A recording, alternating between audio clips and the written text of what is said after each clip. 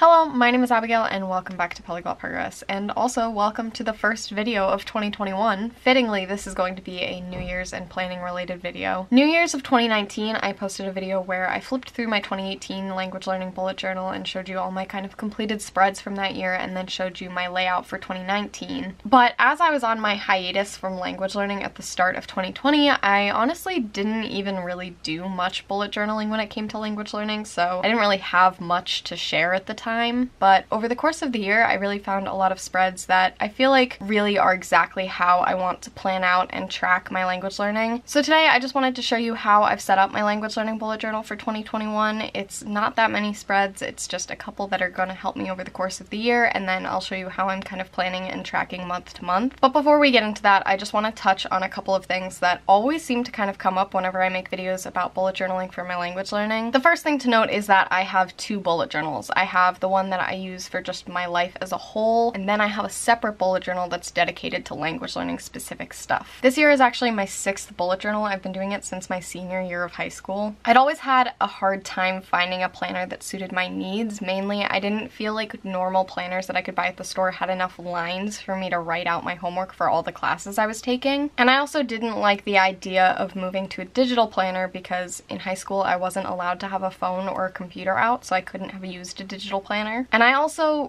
really, really like the feeling of using pen and paper to plan things. I actually feel significantly less overwhelmed and stressed when I write out a to-do list versus when I type it out. I don't know the reasoning, the psychology behind that, but for some reason it makes a huge difference in how I feel about the workload that I have. But in switching over to a bullet journal, a lot more happened than just giving me a lot of space to write out my to-do list. I discovered that I could plan things other than just my day-to-day. -day. I discovered that I could track things in my life. I discovered that it could be used as a creative outlet and I could use it almost as kind of an art journal as well. This is less so the case in my language bullet journal, but you'll definitely see that a little bit of that comes into play this year with my spreads, but definitely most of that is happening just in kind of my normal regular bullet journal. Which brings me to the reason that I have a language bullet journal separate from my normal bullet journal. For my first two years of bullet journaling, I actually tracked all of my language stuff and put my language goals in my regular bullet journal. I did not have a separate place for them. But at the start of 2018, I decided to just try out moving all of my language stuff into a different notebook. I have always liked to plan my language learning on more of a calendar year type scale and then I wouldn't necessarily go off of quarters like I'm doing this year. Most of the time then it would be broken down into semesters and breaks and things because I had the most time to study during breaks. While my normal bullet journal was set on the scholastic year so it would always start in August and end in August and that meant that mid 2018 I would have to be going back to my old bullet journal to look at all of my language stuff from the start of the year and I just wanted a separate place that I could look at my goals for the year and I could look at my trackers, etc. I used to be very opposed to the idea of multiple bullet journals. I thought that it kind of took away the point of being able to create your own planner because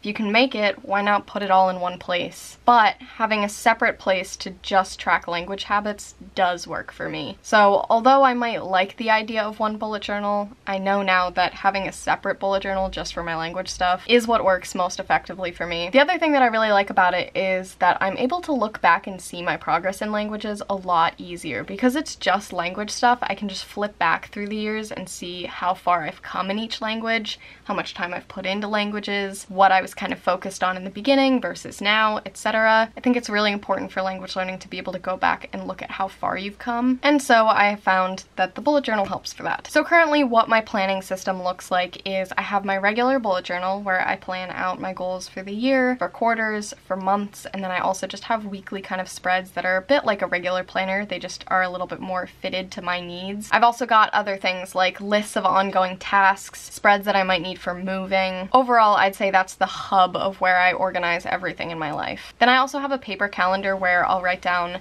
my work schedule, any appointments I may have, any kind of time-based things, and I will also put due dates for projects and things like that. This was something that I started in college because it meant that I could write down my due dates for all of my assignments and exams and things like that. Now it honestly mainly serves as a way to be able to look at when I have things going on. Obviously I have that written down in my bullet journal, but it can be nice for me to see the whole month and kind of know what weeks are going to be a little bit busier, that sort of thing. I'm a very visual person with that kind of thing and having it all in one calendar just works out really nicely for me. And then finally, I have this bullet journal for language learning. So that will be where I keep track of my goals for the year and each quarter. That's where I will keep track of my study habits and routines that I'm trying to put in place, and also where I can just generally have a gauge for my progress in language learning. The biggest disclaimer that I want to put on this video is that this is the planning system that works best for me. I have come to this after years and years of using these things and adjusting tiny things, or in some cases trying drastic changes like moving into a whole new bullet journal for my language learning. So what works for me might not work for you, or it might work for you, but it might require a little bit of adjustment. I say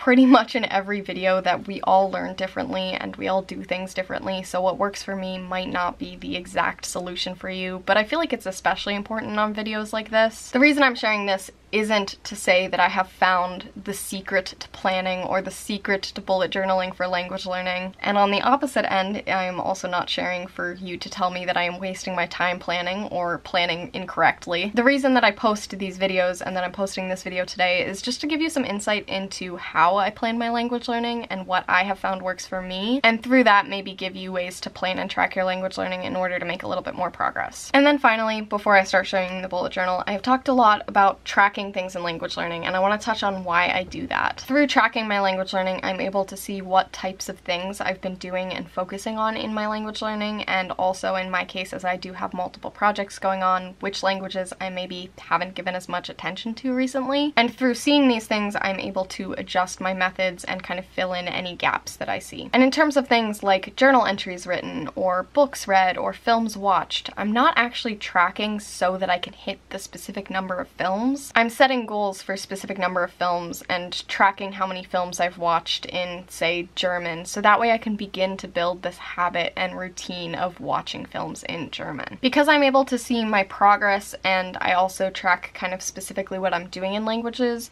it also allows me to note what methods are working well for me and what methods are not working so well. So if I spend a whole month doing a ton of flashcards and I haven't really seen that much progress versus a month where I've been reading a lot and feel like I've picked up a lot of vocabulary, I kind of know then that reading is more so the way to go to pick up vocabulary as opposed to doing flashcards. Overall, through tracking these things, I'm able to build habits and I'm able to figure out what is working well for me and what's not and adjust as needed. Much like figuring figuring out what planning system is most efficient for you, language learning is all about trying new things and figuring out what is most efficient for you and what is most efficient for you in that language. What works for me in German is not actually what works for me in Bulgarian, so language learning is not only a process of getting to know a language for me, but getting to know how to get to know a language. And having these check-ins and trackers and that sort of thing really just allows me to make note of those things and adjust at a quicker pace than I would otherwise. And on that note, I am going to show you what I have set up for this year. So starting off, we have my goals spread for this year. So this page literally just lays out all of my goals for the year. I actually first did this digitally and on various sheets of paper so that I could change and add and delete and rearrange as I planned my year and didn't feel any pressure to write it perfectly in my bullet journal. Again, I have something like this in my regular bullet journal for my goals for the year just for the rest of my life, things like fitness and my relationships and finances and everything else. This spread really just touches on my language language learning goals. So the overall organization of this is really quite simple. I gave myself a theme for 2021, so I wanted to give that a nice little space where I could look at it pretty frequently and kind of go back to that. So right on this first page, I have my four focuses for the year, the top two being Bulgarian and ASL, which are the two languages that I am a beginner in this year, and then the two bottom ones being German and Spanish, which I am not a beginner in, I'm at an intermediate level. So those I've been viewing almost as secondary focuses, though they are as much of a focus for me as Bulgarian and American Sign Language, I don't necessarily have to give them time in the same way I give Bulgarian and American Sign Language. Whereas those two beginner languages, I'm really focused on studying and learning the basics and putting that kind of energy in. German and Spanish are something that I'm really working on improving through reading and watching things and talking with people, just kind of more immersive activities. For each language on here, I have first my focus for the year written with a star next to it. That's overall what is guiding me this year for each of those languages. And then below that I have bullet points next to all of my goals for the language for that year. So those might be more concrete things like finishing a textbook or taking a certain number of lessons, but they're all things that are going to help get me closer to achieving the thing in the focus. Then on the next page, I have the two languages I'm just working on maintaining this year, French and Italian. Below that is Japanese, which might be a focus at some point this year, might just remain a dabbling project. And then my two projects that, if I study them at all, will just be dabbling projects for the year. And below that, I just have a habits section. So in these 2021 goals, a lot of them are concrete things like do this thing, be able to do this thing. But I also have things that are habits that I want to build. So things like journaling a certain number of times per month or reading more often a language. So I just noted for myself what I'm hoping to do monthly and daily this year just so I have a kind of an easier way to look at it. In past years, as well as my language goals, I would have a spread that talked about my language levels at the start of each year. And then at the end, I would come back to it and put my new levels and kind of how I felt they'd changed.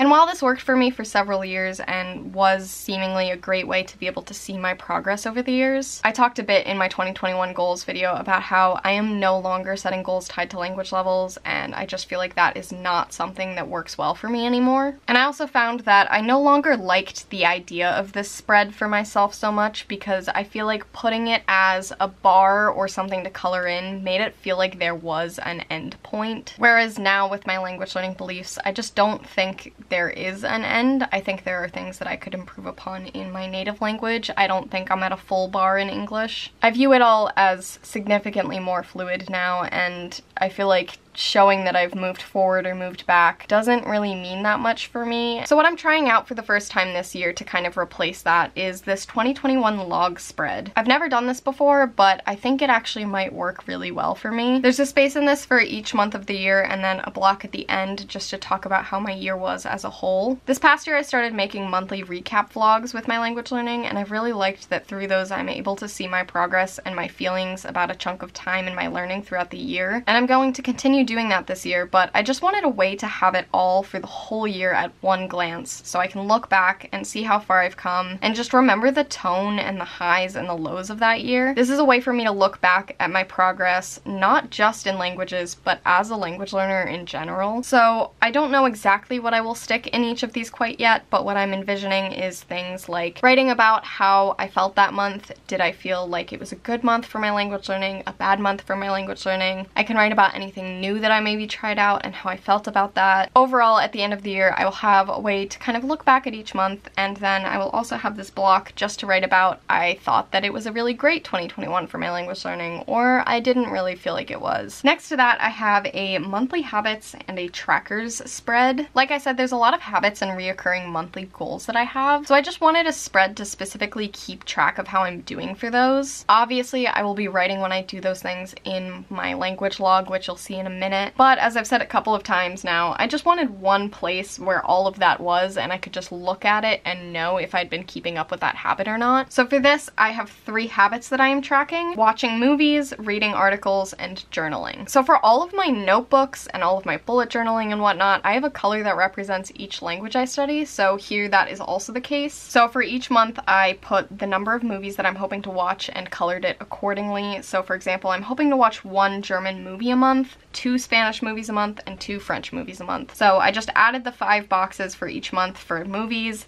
and then colored them accordingly. I'm gonna color them all in or put a check or something like that when I accomplish that. Same for articles and same for journaling. Overall, it's just a way for me to make sure that I keep up with those habits. Below that, I have trackers. So I want to take 75 language lessons or have 75 language exchanges or more over the course of this year, and I wanna read 50 books or more over the course of this year. But that's a yearly thing. I don't have specific month goals, so they didn't really fit into the monthly habits kind of spread. So instead what I did is I made these two trackers. So this one is for my language lessons or language exchange calls. What I've done is I've made this very poorly drawn jar and for each language lesson I take I will draw a circle, color it in the color of the language, and write how long it is. So I've only done one language lesson so far this year so you can see that I have colored in a 30 minute ball for Bulgarian and then also just to show you kind of what it will look like I drew in a few other circles and I also wrote in the one hour Spanish lesson that I have this week and the 90 minute ASL lesson that I have this week. When I take those, I will color them in their colors as well. I like this one because not only does it allow me to track the lessons that I've taken, the length of them, the language that they're in, all of that. But it is also not limited to 75. So while 75 is my goal, I would love to take more than that. Currently, I'm trying to take three a week. I don't think it's sustainable for me financially, so likely I will have to just cap myself off at 75 this year, unless I can find some exchange partners that I speak with for free. But I really like that if I end up taking 100, or I end up taking more than that, or somewhere between 75 and 100, I'm able to just draw in the circles and make it as much or as few as I want. I also like that through coloring it in, I'll be able to see, wow, I took a ton of Bulgarian lessons this year, but not very many Italian or something like that. That's overall why I really love this language color coding system. I love that I can just look at things and immediately see how much I've done in one language versus another. And then next to that, I have this little bookshelf book tracker spread. I used to be a super avid reader. It would not have been difficult for me to read 100 books in a year at all. I was that kid in middle school that would finish like a novel a night. But in high school and college, I really lost that reading habit. Last year, I read 13 books and 12 of them were for school. So this year, I'm really trying to build up my reading habit, get myself reading 50 books. That's a little less than one a week. I think that I can do it if I just stick to it. So what I did currently was I just drew out the books that are linked to certain specific reading goals I have for languages I'm studying. So for example, I know I want to read three books in Spanish, four books in German, so I drew out four German books,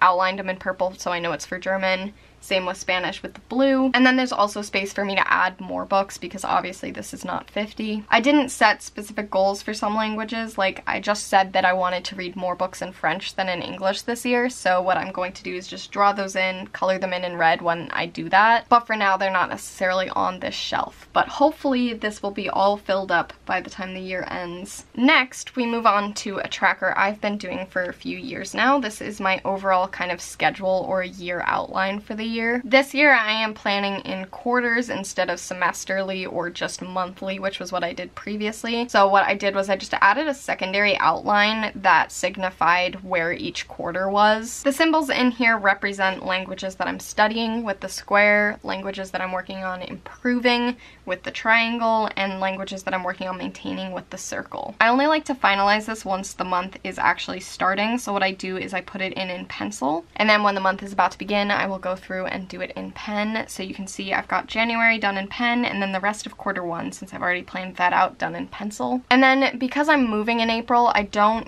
really want to really rigidly plan the other quarters quite yet. I've been waiting to move to a quarterly system since I was a freshman in college, but I'm especially excited to be doing it this year since I'm moving right at the start of quarter two. It meant that I very much so knew what this first quarter looked like, but not so much the other quarters. So once I move in April and have a better gauge of what life looks like, I am going to plan out these other quarters. I would have done it just at the start of this year, but because I am undergoing a very major life event, I wanted to leave myself some room there. So I just put sticky notes that are what I am currently planning on doing during those quarters. But if you look at these too closely, you will definitely see that all of that is definitely still very iffy. I just don't want to really decide a lot of this until after I move and have that better picture of what life is like. Speaking of quarters, quarters. Then we have my quarter one goals all written out on the next page. So up top we have again just my general goals and then I put my focus for the quarter, so the languages that I am really pushing myself to improve. The hierarchy is present here again, so you've got Bulgarian and ASL up top because they're my focus.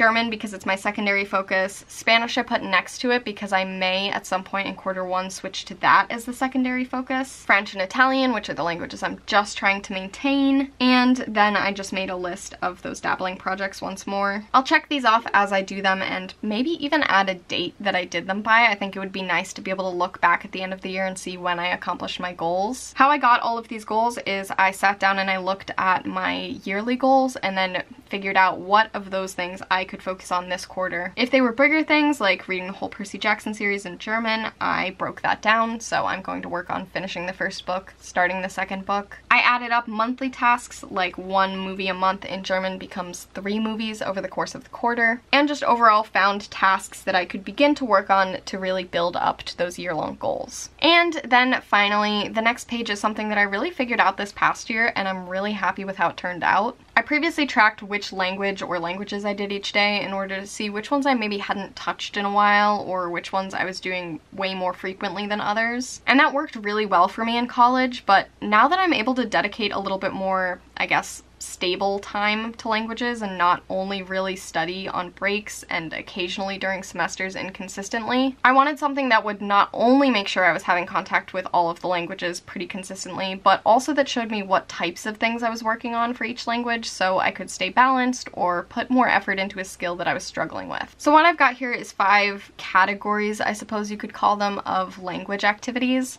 So I've got studying, speaking, reading, writing, and listening. And then I also have the date. So each day I just put in what I did for each language in the column that makes sense for it. I really like this compared to my old spread as I can not only look at it at a glance and see which languages I've had a lot of contact with and which ones I haven't had so much contact with, but I can also get a picture of where my study has been focused. And because I'm writing out what I'm doing and how long I'm spending, I also am going to be able in the future to look back and see kind of where I was at in my language study. And that is how I've been setting up my language bullet journal for the year. So I am really excited to get to use it for 2021. Like I said, I found a lot of spreads that work really, really well for me in 2020 and I've built upon those and made things that I think are really going to help me this year. I'm also so excited to have my life on a quarterly system so that way my life and my language learning and polyglot progress and everything can finally line up. And if people are interested, maybe at the end of 2021 I can flip through and show you all of my spreads because that January spread is not going to be the only language log and if I find other things that I want to track or make note of in the future, maybe I will write those out as well. But until then, I hope that this gave you some ideas for your bullet journal if you're interested in tracking your language learning progress or that you just enjoyed watching it. My camera's about to die, so I'm gonna get going as fast as possible.